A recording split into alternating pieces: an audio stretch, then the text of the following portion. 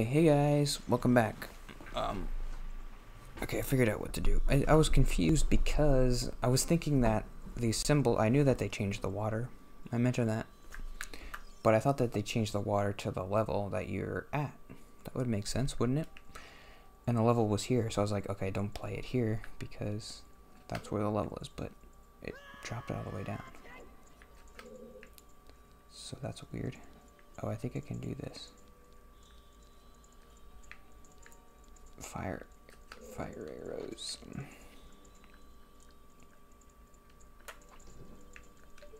Go go go go go. I was gonna try to do therapy stuff today. Uh, I did a um, I did a a journal like a. I spent half an hour. Oh, I told stop that. I told my therapist about my audio journal and she was like, That's good. I'm glad you're doing that, but like also maybe do a written journal. That might help you think about things differently than like just talking about it. Um, so I was doing that, and she told me that's a key. That's got to be a key. She told me last week to write about talking. I guess it was interesting that she said maybe a couple weeks ago, like, well, talking seems to be a big deal for you. And I was like, I mean, duh, but like, also, why? like, um, yeah, it's always been a big. It, it's something that I've. It's a, it's the biggest barrier for connection to other people for me. I don't know how to talk to people. So obviously, it's like it seems like this big. Is is millstone the right word? I was gonna say millstone, but I don't know if that was gonna sound pretentious this big weight around everything I do. It, it's like uh, it affects everything, pretty much. Yeah, I mean, obviously that's why. That's all. That's what I talk about a lot at therapy because it's like, if I could talk like a normal person, I probably wouldn't be there. Everything in my life since I've been 12 years old has been affected by not being able to talk and communicate with people like a normal person. Um,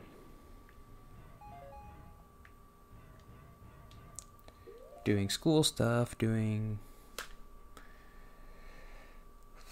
extracurricular stuff, sports, work, church stuff it's all affected by this thing that follows me around wherever I go, whenever I'm around other people. I don't know what I'm supposed to be saying ever, pretty much. And the less you talk, the worse it gets. Uh, is there a time limit? What's happening?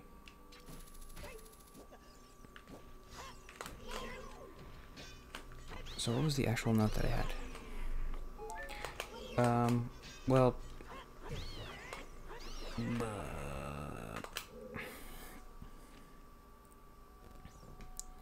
One thing I brought up, I don't know how important this is, but I just mentioned it when I was doing my art, my writing journal, and then she said, "Oh, let's talk about that." Um, okay, what do I do here?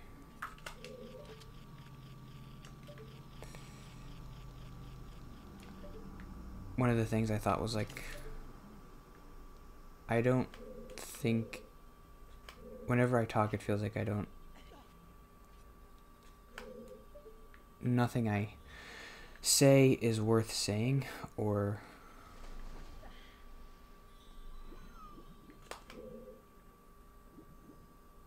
I guess that's what I said. Nothing I say is worth saying. And she did a a thing which I guess a lot of therapists try to do to challenge your thought is like, well, they'll say, "What if your brother came to you and said that to you?" What if your brother came to you and said, "Well, nothing I say matters, and like nothing I say is worth saying, and I don't think I'm very interesting, or I don't think anybody cares what I say." Okay, I do have to figure out what to do here because I know this is where you're supposed to go, but. Oy. Water temple. I did get a key. I still have. Well, I still have the key. Let's just go back then. I guess I wasted some time because I got the key. What does it say? I got the key. Where even am I? Well, that's where I am. Get on the small platform on the step, climb up one level, zip across. This puzzle has slight differences. In the N64, the crystal switch is beyond the gate.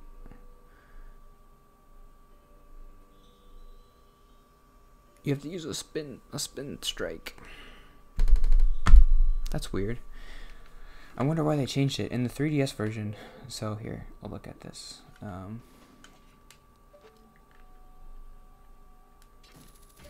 well, I guess I kind of understand now why they changed it. You have to do in the 3DS version. It says it's this crystal is in front of the gate, but in this version you have to do this spin strike. yeah, that's not very intuitive, so I guess I understand why they changed that. But I guess, I mean, they did want to put in a spin puzzle, so, but, wait, was that all that was behind there?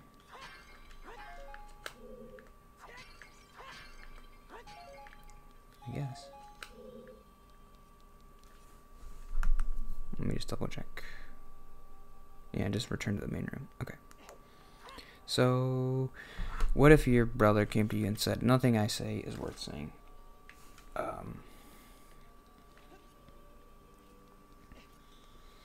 I'm trying really hard to be honest in this therapy thing. Like, like really honest.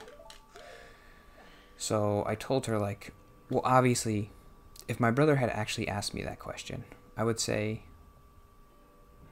well, come on, of course, like, you're a good person and and I and what you what you say has value. You're smart, and you're funny, you're important, so you should you shouldn't ever be self-conscious about talking that much. Um, but I said, I said, okay, so that's what I would tell my brother if he actually told me that. But if I'm being honest, I don't know if that's true.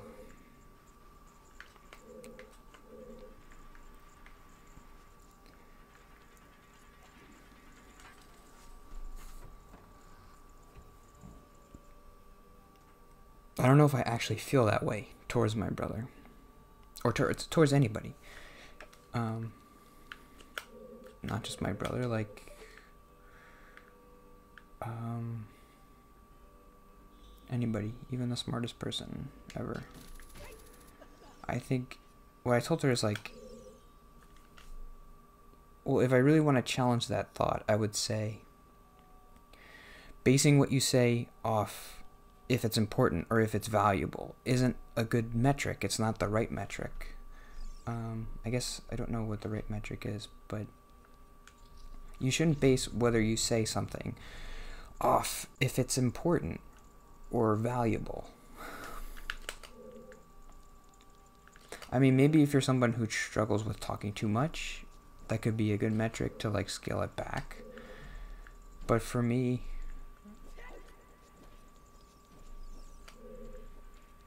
that doesn't have to be the metric. It can't be because do I have to light that on fire? Because then I'll never talk. Because, like, what is worth saying? What is.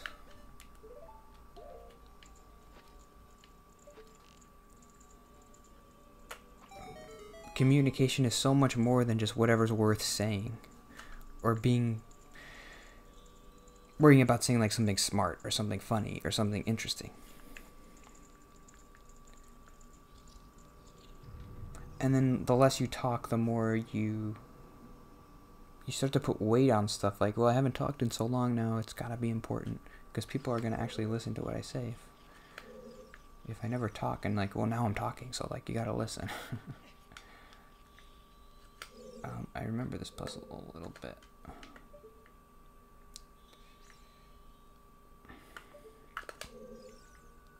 I need to memorize this song.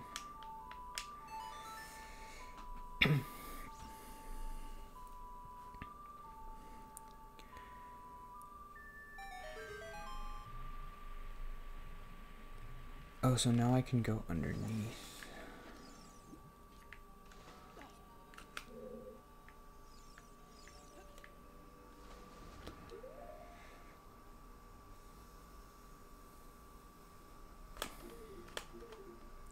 Guess that was it. That's all I wanted to say.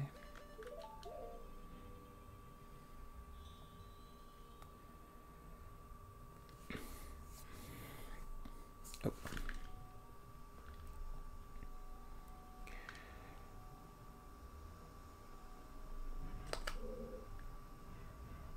But I know there's more to it than that. There's more to it than just like thinking, oh, I wish everything I said was like smart and valuable or interesting or funny or whatever. I know that's part of it, definitely. Like, whenever I'm in a conversation, I think, well, I have nothing really to add because I guess I could try to think of something, and then maybe when I try to think of something, I never really think of anything to say. But that's not really how conversations are supposed to work. You're just kind of supposed to listen to what the other person says and just say whatever you're thinking. Ah,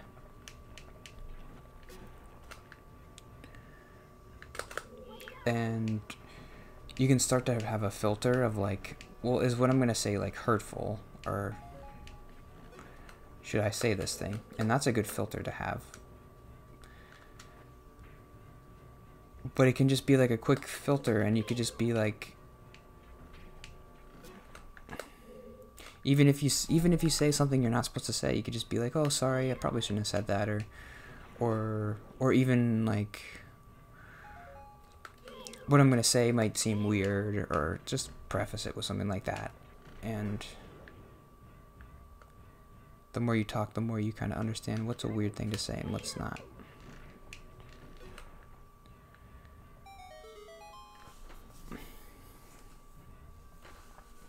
I tried to talk about how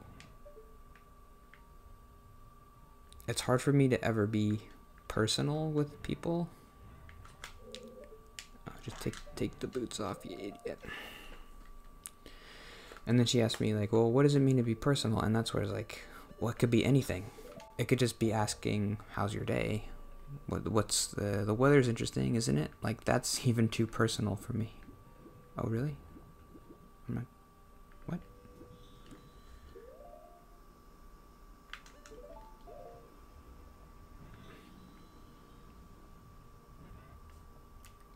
What's up there? That can't be right. There's got to be something.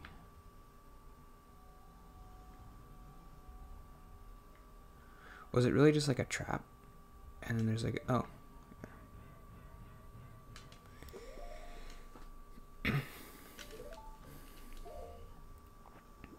there's a chest over here. There it is.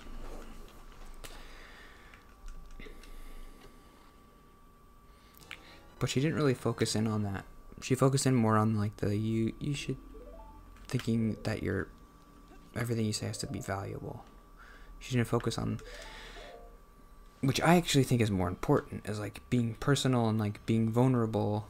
There's a I can't I can't take that leap. It's a big leap for me. Because I, I told her like well, talking in this therapy session and like talking in this YouTube thing is easy for me because I'm just talking about myself at first that was hard to do because I didn't know what to say. But now it's easy. I'm just talking to myself. And when I'm in the therapy session, it's similar to this. I kind of, I mean, I'm, listening to what she's saying, but I'm still just talking about myself. I'm not talking about, like, well, how's your day? And what'd you do last week? Did you do anything fun? I never ask her anything like that. Um,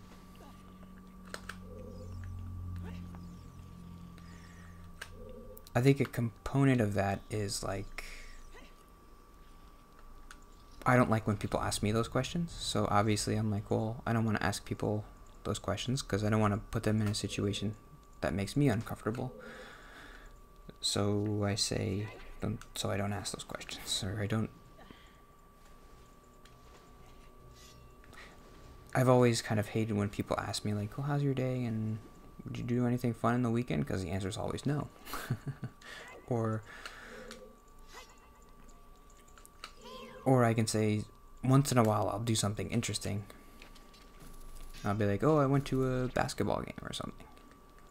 And then I'm not sure what to say. Like I haven't rehearsed a story about the basketball game. I was just like, "Yeah, I went to a net game and it was fun."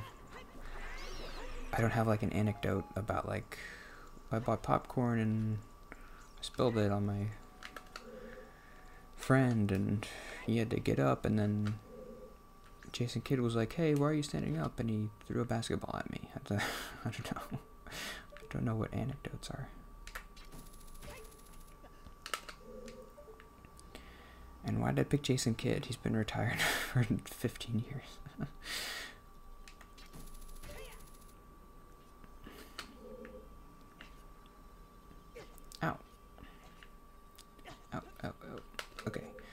I think I'll end there and uh, I have a key so I can do some key stuff. This key stuff will be key stuff.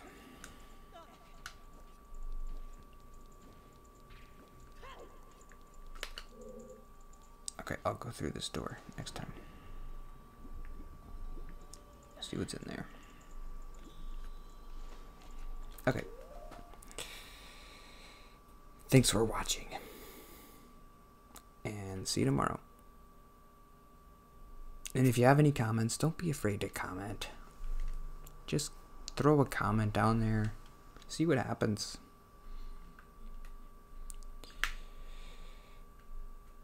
I know I don't I don't I, I'm not really sure how to do this. Like I want to make it more, whatever I'm doing here like more open to comments. I don't really how to know how to do that. I feel like I'm not really engaging you in a commentual way.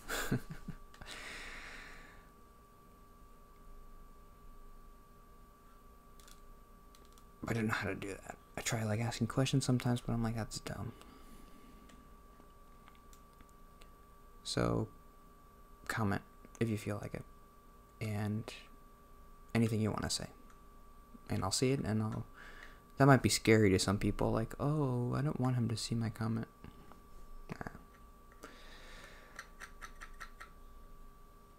I'll be nice, I promise. So, and I'm the only one who's gonna see it, probably. So, um, anyway, see you tomorrow.